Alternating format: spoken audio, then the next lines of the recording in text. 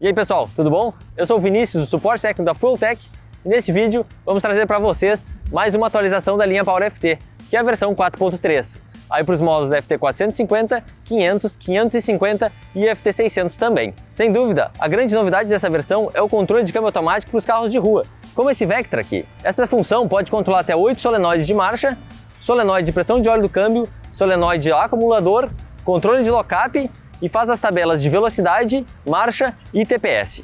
Como se trata de uma função muito ampla e genérica, é preciso ter certeza que o câmbio do seu carro ou do seu projeto pode ser controlado pela Flowtech.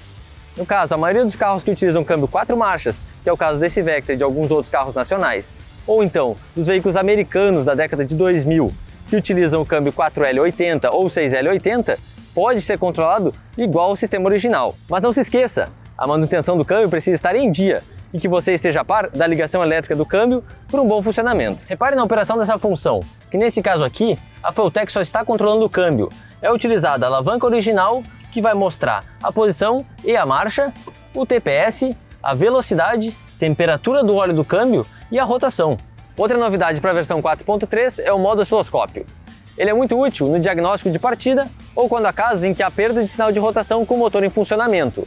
O Wheelie Control baseado no acelerômetro interno também é muito útil para motos de arrancada ou carros tração traseira. Assim como foi adicionado o botão multifunções, em que uma largada validada, o botão de Two Step pode ser o botão Boost+.